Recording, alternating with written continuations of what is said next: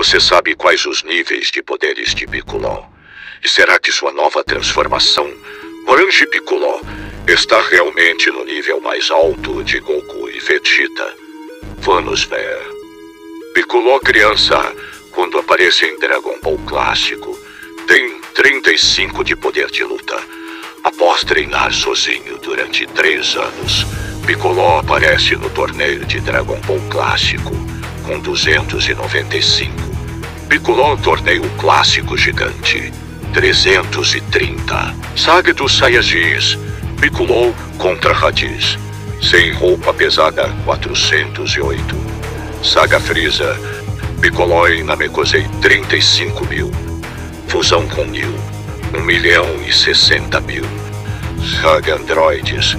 Piccolo após três anos de treinamento. 3,3 milhões. Fusão com Kamisama, 280 milhões.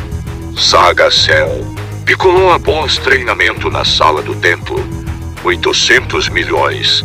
Saga Bull, o poder dele sobe para 1,5 bilhões.